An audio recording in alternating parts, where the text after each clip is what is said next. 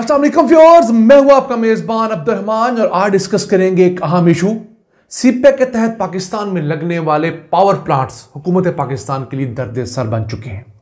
इन महँगे power plants की वजह से हुकूमत पाकिस्तान के ऊपर एक अरब अस्सी करोड़ डॉलर्स की लाइबिलिटी चढ़ गई है। यानी हुकूमत पाकिस्तान ने इन पावर प्लांट्स को चार सौ तिरानवे अरब रुपये अदा करने हैं।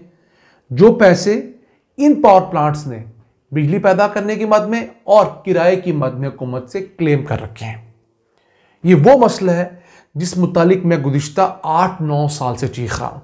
सोशल मीडिया पे भी और मेन स्ट्रीम मीडिया पे भी जो लोग मुझे पहले से फॉलो करते आए हैं मेरे जियो एक्सप्रेस के दौर से। तो प्रॉब्लम क्या थी? हमने जब सीपेक के तहत माहे किए तो एक ज़रूरत से ज़्यादा बिजली के माहे कर लिए, दूसरा महँगे दामों माहे किए और तीसरा हम लोगों ने किराए की मद में खरबों रुपए की कमिटमेंट्स कर ली। वो किस तरह? सीपे के तहत पाकिस्तान के 22 पावर प्लांट्स लगाने के माहे हुए। इन टोटल पावर प्लांट से ग्यारह मेगावाट बिजली पैदा होनी थी। इनमें तमाम अकसाम के पावर प्लांट्स हैं। सोलर भी है विंड भी है, पानी वाले भी हैं और थर्मल भी है, जिसमें कोयला भी शामिल है। तो हुआ क्या? उन 22 में से तेरह पावर प्लांट्स मुकम्मल हैं जो 8000 मेगावाट बिजली पैदा कर सकते हैं। जबकि एक पावर प्लांट अंडर कंस्ट्रक्शन है जो इस साल मुकम्मल हो जाएगा, आठ सौ चौरासी मेगावाट सुखी किनारी हाइड्रो पर मनसूबा। जबकि आठ पावर प्लांट्स अभी भी ऐसे हैं जो कि अंडर प्रोग्रेस हैं, जिनके मुतालिक अभी सोचा जा रहा है कि शुरू भी करने हैं कि नहीं। लेकिन अगर इन तेरह मनसूबों का किराया और इनके जो चार्जेस हैं, वो हमारे सर पे चार सौ तिरानवे अरब रुपए हो गए हैं तो जब ये बकिया नौ मनसूबे भी हमारे सर पे सवार होंगे, तीन हज़ार छह सौ अड़तालीस मेगावाट के तो सोचिए इस मुल्क में बिजली के क्या हालात होंगे। पाकिस्तान को उतनी बिजली चाहिए ही नहीं थी जितने के मुआदे सी पैक के तहत धड़ाधड़ कर लिए गए। अब जब बिजली का रेट बढ़ रहा है तो हमारे लोग चीख रहे हैं। जब हम पहले कहते थे तो बहुत सारे ऐसे लोग जो नून लीग के हमदर्द थे, वो हमारे खिलाफ आवाज़ उठाते थे कि हम लोग सी पैक के खिलाफ हैं। हम खुदा ना खास्ता सी पैक के खिलाफ ना कल थे, ना आज थे। सी पैक के तहत होने वाले जो एग्रीमेंट्स हैं, और उनमें जो बहुत हाई मुनाफा कमिट किया गया हम कल भी उसके खिलाफ थे, आज भी हम उसके खिलाफ हैं। उसकी मिसाल क्या है? पाकिस्तान में 30 जून 2023 तक बिजली पैदा करने की जो कैपेसिटी थी, वो पैंतालीस हज़ार आठ सौ पचासी मेगावाट थी। और हमारी बिजली की ज़रूरत जून 2023 में कितनी थी? मैक्सिमम तीस हज़ार मेगावाट। अब पैंतालीस हज़ार आठ सौ पचासी मेगावाट में से हम जितनी बिजली पैदा कर सकते थे, वो तकरीबन तैतालीस हज़ार आठ सौ मेगावाट थी। तो दो हज़ार मेगावाट निकाल दीजिए जो कि डिपेंडेबल नहीं होती। लेकिन डिपेंडेबल कैपेसिटी यानी कि ऐसी कैपेसिटी जितनी बिजली अगर हम चाहें वो पैदा कर सकें, वो हमारे पास तैंतालीस हज़ार आठ सौ मेगावाट थी। ज़रूरत हमारी कितनी थी? तीस हज़ार मेगावाट इजाफी बिजली का पोटेंशियल कितना है? अभी भी हमारे सिस्टम में तेरह हज़ार मेगावाट तो जो तेरह हज़ार मेगावाट बिजली हमारे पास इजाफी पैदा करने की सलाहियत है, उसका हमने किराया अदा करना है। हम वो बिजली प्रोड्यूस करवाएँ या ना करवाएँ। इसमें सीपेक के मंसूबे भी शामिल हैं और इसमें पहले से किए हुए माहे भी शामिल हैं। यही वजह है कि पाकिस्तान में हर महीने बिजली का रेट बढ़ रहा है, लेकिन हुकूमत के खसारे भी उसी रफ्तार से बढ़ रहे हैं बिजली की मत में। मैं मिसाल देता हूँ, पिछले मालियाती साल के एदाद शुमार आए हैं नेपरा के मुताबिक, वो इदारा जो बिजली की कंपनियों को डील करता है।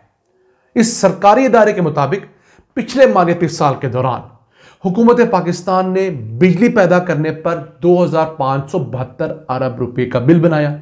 इस रकम में से बिजली पैदा करने पर जो खर्चा आया, वो एक हज़ार दो सौ इक्यावन अरब रुपए आया, जबकि 1321 अरब रुपए सिर्फ़ बिजली के पावर प्लांट्स का किराया अदा किया हम लोगों ने। यानी, हम लोगों ने जो बिजली पैदा करने पर खर्चा किया, वो सिर्फ़ 48 फ़ीसद था। हमने जो किराया अदा किया वह बावन फ़ीसद था। तो अगर हम लोग ये किराए के पावर प्लांट ना लगाते तो हमारी बिजली की कीमत में बावन फ़ीसद कमी हो सकती थी ना। ये मैं नहीं कह रहा हुकूमती इदारा नेपरा कह रहा है। लेकिन बात यहाँ खत्म नहीं हुई। रवा मालियती साल में आ जाते हैं यानी 2023-24 का साल। इस साल में काम और भी खराब हो चुका है। इस साल बिजली पैदा करने पर 3,160 अरब रुपए खर्च होंगे। यानी पिछले साल से तकरीबन 600 अरब रुपए हम लोग इजाफी खर्च करेंगे। लेकिन हमारे यहाँ किराया फिर बढ़ जाएगा। इस साल हम बिजली पैदा करने पर सिर्फ़ एक हज़ार अड़तालीस अरब रुपए खर्च करेंगे, जबकि किराया हम कितना अदा करेंगे? 2112 अरब रुपए। यानी पिछले साल से हम लोग तकरीबन 900 अरब रुपए किराया इजाफी अदा करेंगे। पिछले साल हमारा किराया टोटल कॉस्ट ऑफ़ इलेक्ट्रिसिटी का बावन परसेंट था। इस साल हमारा किराया सड़सठ परसेंट हो चुका है। और हमने जो बिजली पैदा करने की लागत अदा करनी है वो सिर्फ़ तैंतीस फ़ीसद है।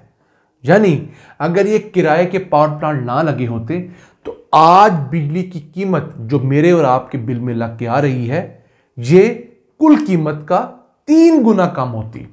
अगर किसी का बिल तीस हज़ार आया है तो वो दस हज़ार आना था अगर ये किराए के पावर प्लांट ना लगते ये किराए के पावर प्लांट पीपल्स पार्टी ने अपने दौर में लगाए, नून लीग ने अपने दौर में लगाए, काफ लीग ने अपने दौर में लगाए, फिर पीपल्स पार्टी और फिर नून लीग ने सीट पैक के तहत लगाए। एक काम, पीटीए हुकूमत अपने दौर में अच्छा कर गई, आप उससे इख्तलाफ करें, या इतफाक उन्होंने अपने साढ़े तीन साल टन्योर में कोई एक भी पावर प्लांट लगाने का ऐसा मुआदा नहीं किया जो कि किराए की मद में हुकूमत पाकिस्तान के ऊपर बोझ हो उन्होंने और गलतियाँ बहुत की, उस्मान बुजदार जैसी हमाकतें की, लेकिन यह हमाकत उनसे कम अज कम सरजद नहीं हुई। अगर किसी के पास ऐसा रिकॉर्ड है तो हमें डिस्क्रिप्शन के अंदर या लिंक के अंदर ज़रूर भेजें। मैं जानना चाहूँगा कि वो कौन सा मंसूबा है, जिसका मुआदा हुकूमत पाकिस्तान ने इमरान खान के दौर में किया, और वो किराए की मद में हुकूमत के सर पर एक बहुत बड़ा वबाल साबित हुआ। तो देखिए, हमारे यही हुक्मरान जो पी डी एम टू हमारे सर पर मुसलत की गई है, इन्होंने हमारे साथ क्या सलूक किया है? आप इसको सियासत में रखें या ना रखें? हमारे बहुत सारे नाजरीन हम पे एतराज़ करते हैं कि जनाब, आप सियासत को इस मीशत के टॉपिक में क्यों लाते हैं? मीशत को आप सियासत से अलग कर नहीं सकते। अब अगर हमारे घरों के बिल बिजली की मद में लाखों रुपए हो चुके हैं, अगर गैस के बिल कई कई हज़ार रुपए आ रहे हैं तो आप इसका जिम्मेदार किसको ठहराएँगे? अपने चौकीदार को? अपने माली को? नहीं। अपने हुक्मरानों को। तो मेरे नाजरीन, इस चीज़ को समझा करें कि जब भी आपने किसी मुल्क की मीशत पढ़नी है, समझनी है तो उस मुल्क के हुक्मरान, उस मुल्क की पॉलिटिक्स को आपको डिस्कस करना पड़ेगा। ये नहीं हो सकता कि पॉलिटिक्स, मीशत के अलावा डिस्कस हो सके। अब पाकिस्तान में दो पन बिजली के मंसूबे शुरू नहीं हो पा रहे, जो कि सीपेक के तहत 2020 में साइन हो चुके थे। और ये मंसूबे निस्बतन सस्ती बिजली पैदा करने थे। पहला मंसूबा है कोहाला हाइड्रो पावर प्रोजेक्ट जिसने 2025 में, यानी अगले साल मुकम्मल हो जाना था। अभी उस पर एक ईंट नहीं रखेगी। क्यों? चाइना हमें मजीद लोन, मजीद फाइनेंसिंग देने पर राज़ी नहीं है। अब इस कोहाला हाइड्रो पावर प्रोजेक्ट से 1124 मेगावाट यानी सालाना पाँच अरब यूनिट्स सस्ती बिजली के पैदा होने थे। अब नहीं हो सकेंगे, क्योंकि दो अरब चालीस करोड़ डॉलर्स चाइना मजीद हम पर इन्वेस्ट करने के लिए तैयार नहीं है। एग्रीमेंट 2020 का साइन हुआ है। पाँच हज़ार जॉब्स भी क्रिएट होनी थी जब इस मंसूबे ने अंडर कंस्ट्रक्शन होना था। फिर आज़ाद पतन हाइड्रो पावर मंसूबा, ये 700 मेगावाट का है। सालाना इसने तीन अरब बीस करोड़ यूनिट्स सस्ती बिजली के हमारे सिस्टम में शामिल करने थे। ये भी शुरू नहीं हो सका। इसने 2026 में मुकम्मल हो जाना था। इसकी कंस्ट्रक्शन के दौरान तीन हज़ार पाकिस्तानी इंजीनियर्स टेक्नीशियंस मजदूरों को रोज़गार मिलना था। अब क्यों नहीं होगा? इसके लिए तकरीबन डेढ़ अरब डॉलर की इन्वेस्टमेंट दरकार थी। वो चाइना करने के लिए राज़ी नहीं है। तो ये दो मनसूबे जो हमें आठ अरब बीस करोड़ यूनिट्स सस्ती बिजली के देने थे, पन बिजली के देने थे वो अब शुरू ही नहीं हुए। अगर हम इस साल में भी शुरू कर लें, जो कि मुमकिन ही नज़र आ रहा तो ये मुकम्मल होते होते 2030 तक पहुँचेंगे और तब तक आवाम के ऊपर किस कदर इजाफी बोझ बिजली के बिलों की मद में, गैस के बिलों की मद में आएगा, वो आप और मैं बेहतर तरीके से सोच सकते हैं। तो नाजिन ये वो तलख हकाइक हैं जो हमें हर हाल में मानने चाहिए। जब तक हम इन तलख हकाइक को नहीं मानेंगे, इनके खिलाफ आवाज़ बुलंद नहीं करेंगे, ये चीज़ें हमारे लिए दर्द सर बनती जाएँगी। सीपेक के तहत लगने वाले वो महँगे मतूबे जिनका क्रेडिट ऐसा इकबाल लेते हैं, जिनका क्रेडिट नून ली लेती है, आज वो हमारे गले का फंदा बन चुके हैं। हम लोग दीगर बिजली पैदा करने वाले पावर प्रोड्यूसर से निगोशिएट कर सकते हैं, कर रहे हैं, कर रहे थे।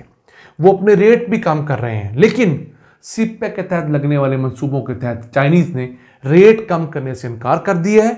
क्यों? उन्होंने कहा जी, जब आपसे हम लोग निगोशिएट कर रहे थे, ये बातें आपने तब करनी थी। अगर आपने तब हमारे रेट्स पर तय की हुई बातें मान ली हैं तो अब हमसे चार, पाँच, छह साल बाद रीनिगोशिएट करने क्यों आए हैं?